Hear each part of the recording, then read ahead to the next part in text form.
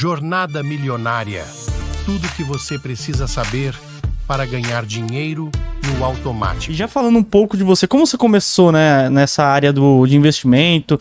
É, é uma mistura, né? Negócios, investimento, É. entretenimento. Você conseguiu mudar realmente o jeito que os jovens vê, vê negócios. Porque antigamente, na minha época, negócio era uma coisa meio chata, né? Tipo, você falava negócio, parecia que, meu, é Coisa trabalho. engravatada, né? Muito formal. bigode, né, e tal, aquela coisa chata, você trabalhar muito ali, às vezes não ser reconhecido, e você conseguiu fazer do, é, do empreendedorismo uma coisa legal, uma coisa que, meu, eu vejo vários jovens hoje.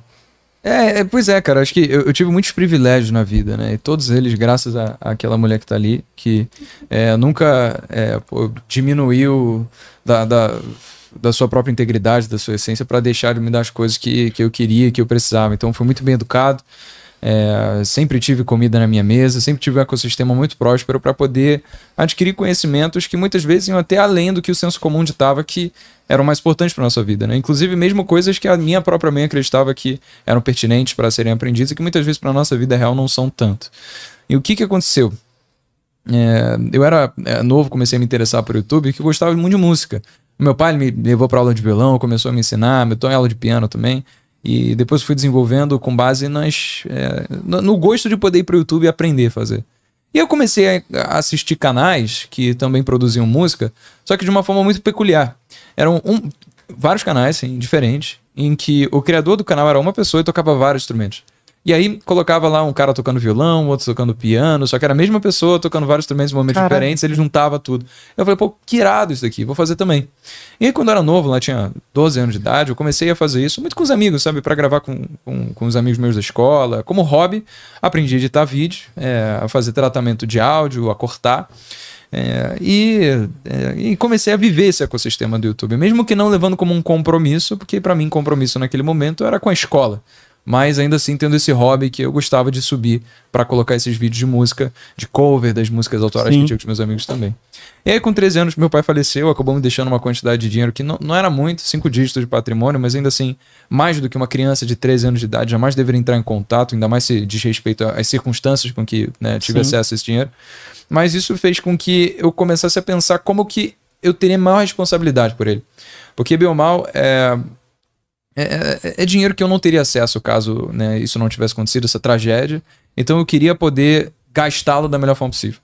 A, a minha intenção sempre foi como é que eu vou gastar esse dinheiro da melhor forma. Então, dos 13 anos em diante, até eu chegar nos 18 e de fato ter acesso a essa quantidade, o que eu pensava era, tá, beleza, eu quero fazer medicina, provavelmente faz sentido com que eu use esse dinheiro para comprar os equipamentos de uma clínica, é, de um consultório médico aqui que eu vou precisar. Então, pagar o aluguel da loja por um tempo, né, até aquilo ali rentabilizar e eu poder né, tocar com o meu próprio dinheiro. Porque eu achava que no âmbito profissional era uma coisa que meu pai ficaria orgulhoso em me ver Sim. gastando esse dinheiro. Só que eu fiquei em medicina seis meses. Depois que eu né, fiquei seis meses, eu não conseguia mais aguentar, porque eu tinha uma matéria chamada especificamente Saúde da Família, em que tinham aulas que eram práticas, só que no sentido onde a gente unia em grupo, tinha um assistente né, da, da saúde né, para nos acompanhar até subir comunidade carente lá no Rio de Janeiro. Aí teve uma vez que eu subi a comunidade Quintino, e o que aconteceu foi que eu acabei me deparando com a realidade de pessoas que estavam com muita, muita necessidade de atendimento médico, não tinha nem condição de descer do morro para conseguir atendimento Caraca. no SUS ali. E assim, eu comecei a, a, a ver muita miséria. Por exemplo, putz, senhor de 80 anos de idade que tinha Alzheimer, tinha sido mal diagnosticado com um tumor, dizendo que era benigno, acabou que a parada era maligna.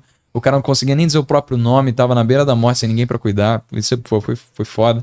Tive uma menina de 14 anos de idade que tava grávida, recebeu a gente fumando. A assistente de saúde que tava com a gente, ela acabou falando: pô, mas você não quer que seu filho é, ele tenha tempo com você, você não quer poder ensinar é, para ele as coisas. Mano, ela, tipo, encarou basicamente como se fosse uma mãe chata querendo ditar pra ela o que fazer e não fazer, entendeu? E aí ela, eu olhei pra trás quando a gente foi assim, ela voltou a fumar como se nada tivesse acontecido. E, pô, uma senhora também, pô, deitada na cama, mal respirando, sem equipamento pra conseguir. Enfim, foi muita coisa que eu acabei presenciando ali. Eu trazia essa energia negativa pra dentro de casa, eu ficava me sentindo mal, tratava minha mãe mal, tratava minha irmã mal, porque aquela coisa te carrega, sabe? Aquilo te Carrega. consome, te corrói. Ao longo do tempo eu falei, cara, eu não quero isso pra mim. Porque eu tô aqui há seis meses. Imagina ficar aqui seis anos vivendo isso. Fora os outros cinco depois da residência. Eu não quero, eu não estou disposto a viver isso daqui. Passei a admirar muito o médico. por isso. Porque são pessoas, cara, que conseguem conviver com isso, genuinamente com vontade de ajudar, e ainda tem capacidade, uma inteligência emocional de conseguir chegar em casa e dar um abraço no filho, botar a filha para dormir, contar história, sabe? E dar um beijo na esposa. Eu falei, como é que eu vou conseguir fazer isso, mano? Se eu tô chegando em casa desse jeito. Aí eu larguei. E aí depois aquele pensamento de, ah, como é que eu vou gastar aquele dinheiro, que até então estava muito claro, deixou de existir. Porque não tinha mais consultório médico, não tinha mais clínica, né? Como é que eu ia gastar esse dinheiro agora? Deixei em stand-by, fui fazer engenharia. Mas eu comecei a pensar, cara, se esse dinheiro não tá, tá na poupança, eu já tinha ouvido em alguns lugares, né, por informações paralelas que existiam outras possibilidades de você investir seu dinheiro que não a poupança, talvez eu devesse procurar como investir melhor aquele dinheiro. E eu fui no YouTube, que foi o melhor professor que eu tive na vida, e procurei lá como começar a investir. E aí eu comecei a assistir os vídeos do Thiago, comecei a assistir os vídeos da Arcuri, do Perini, do Pitmani, do Fábio Holder, todas as pessoas que hoje têm pô, um grande privilégio de chamarem não só de é, pô, mentores, mas até grandes amigos, né, alguns deles. E isso fez com que eu começasse a entrar e desbravar esse mundo até então completamente desconhecido, chamado de educação financeira. E perceber que são tipos de conhecimento indispensáveis para qualquer pessoa, independentemente de classe social, independentemente de circunstâncias, porque todo mundo lida com dinheiro. Você pode ser advogado, médico, engenheiro, como minha Todo mãe queria mundo, que não eu tem fosse. como, né? Ou você pode ser, sei lá, mano, gari, bibliotecário, astronauta, o que fosse. Qualquer coisa. O dinheiro- Ah, a não sei que você esteja morando numa, sei lá, montanha no topo do Tibete, você tem um- uma terra autossustentável que você que consiga é muito viver. improvável, né? E, hoje pô, em dia. pra- até pra você comprar a terra, Até não porque sei se você se estiver no tem Tibete, você não vai estar assistindo a gente, né? Também tem Exatamente. isso, mano. Então, tipo, é, é- é, assim, a gente vai precisar lidar com dinheiro. Só que a gente não é dado uma aula sobre educação financeira na escola. Ou seja, eu comecei a entender a importância disso daqui e o quão é, separado era a passagem desse conhecimento para o público que mais poderia se beneficiar dele, que é o público jovem. Então, eu vi a Arcuri, achava incrível, aprendi muita coisa com ela, vi o Demais. Incrível também, são pessoas que só têm o que agregar no mundo. E o que eu vi, eu falei, caramba, talvez, cara, faça sentido com que eu consiga falar com pessoas que as pessoas é, talvez não conversem tão bem assim. Não por, pela incapacidade delas, muito pelo contrário, são pessoas absolutamente competentes, mas meramente por questão de identificação. Eu falei, cara, eu acho que não tem ninguém que fala que nem moleque, sabe? Que fala que nem essa cara de jovem aqui, falando gira, fazendo piada pra passar esse assunto. Então, é o mesmo conteúdo, só que passado de uma forma um pouquinho diferente, que eu sempre acreditei que pudesse chegar para várias pessoas. Então, eu entendia que a, a necessidade da gente saber sobre educação financeira mantive essa ideia na cabeça, né? Tipo, de se levar educação sobre isso de alguma forma. Em paralelo, cara, eu entrei na UFRJ, que é a Universidade Federal lá do Rio de Janeiro, uma faculdade muito E você entrou prestigiada. pra medicina mesmo? Eu entrei para medicina na Souza Marques, que é uma faculdade particular, tá? Sim. A minha mãe não tinha condição de pagar, ela pagou uma parte, o meu Muito tio, que é o irmão dela, passou num concurso para se tornar é, um- uma pessoa muito bem paga, uma das profissões mais bem pagas do Brasil. Sim. E ele falou: Cristine, pode deixar que se o Breno não conseguir de novo passar para uma pública, porque na primeira vez que eu tava na escola, eu só fiz prova para pública, não fiz nem particular, porque minha mãe não conseguia pagar por É ela, muito né? caro, né? É, e, e aí ele falou, Cristine, pode deixar que é, caso ele passe para uma particular, eu ajudo você a pagar. Olha que legal seu tio. Muito, né, cara? E aí, bom, eu, eu tive a, a- a- Ele me deu o privilégio, de novo, né? Minha vida foi uma série de sortes e, e privilégios. De poder viver esses seis meses na faculdade e descobrir, cara, imagina se eu tivesse ficado três, quatro anos fazendo vestibular para entrar para pública e depois descobrisse isso daí. Que não, que não gostaria. Pois é, então pude é, perder só um ano, teoricamente, estudando a mais para conseguir entrar. E depois de seis meses eu saí, ele já tinha investido uma quantidade de dinheiro. Eu fiquei absolutamente tenebroso em falar para ele que eu ia desistir desse negócio. Mas ele levou, cara, tudo tranquilo. Eu desisti da minha faculdade de engenharia também. É, bola pra frente, a gente consegue tocar isso daí. Agora você vai achar uma que seja bom pra você. Fui fazer engenharia e lá, cara, foi quando tudo mudou. Porque eu tive a possibilidade de entrar em contato com uma iniciativa chamada de Empresa Júnior na UFRJ. Você já ouviu falar em Empresa Júnior? Eu ouvi falar do, do rapaz que esteve aqui, o Ah, é? CEO da, da Jovens. Como que é o nome dele? O CEO da Jovem? É, é o CEO, o, não é o CEO da Jovens, o, o que veio com o. O que veio com o Kraus? Pois, eu não sei. Pra mim o CEO da Jovens era eu, mas... Não, ele, não é o CEO, como que é? Desculpa, não é, não é o CEO. O Pedro, o Pedro. Ah, o da pô. Kraus. Ele era da, Da Kraus. Kraus, é, certo, Ele era o CEO da, da- Kraus. da Kraus, tá É, certo. Agora ele é o Head Content lá na Jovens. É certo. que a gente fez uma fusão, né? É, então, você estava bem nessa época aí de fazer a fusão, é, mas ele tá na Kraus mesmo, ele mesmo. Isso, exatamente. É, agora Ele ele, falou mudou, pra mim. né?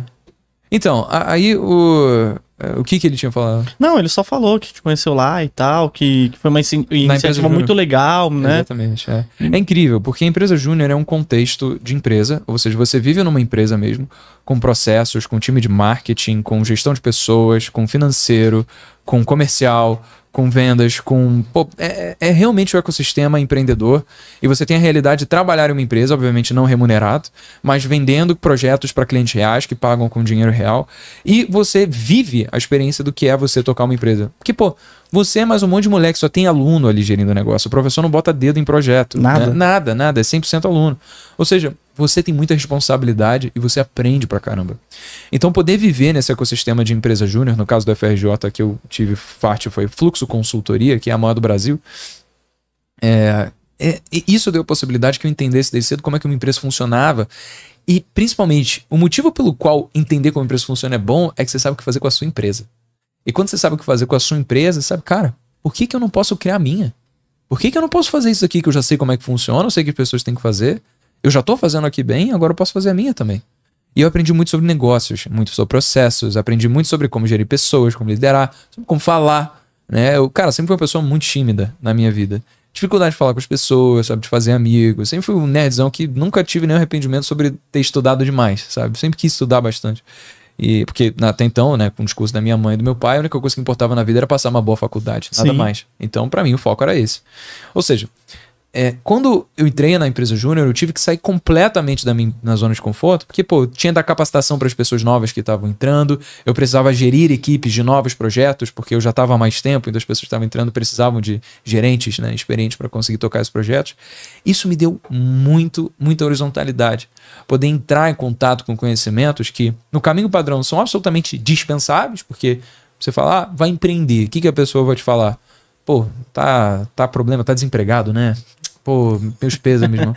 É que abrir mesmo. negócio aqui é quando você tá ferrado, pô. Quando você É. perdeu o emprego, aí a pessoa fala, ah, vou abrir negócio. O pior momento pra você abrir uma empresa é quando você perdeu o emprego, porque tu não tem reserva, tu vai abrir uma empresa pra sacar todos os frutos que ela gerar, a empresa vai capengar, você vai falir, é por isso que empreender no Brasil dá errado. Porque as pessoas não sabem como fazer isso da melhor forma. A gente não é dado conhecimento para suprir um gap essencial, estrutural da nossa sociedade, de pessoas que estão sendo formadas para trabalhar em empresas versus empreendedores que sabem como gerir empresas.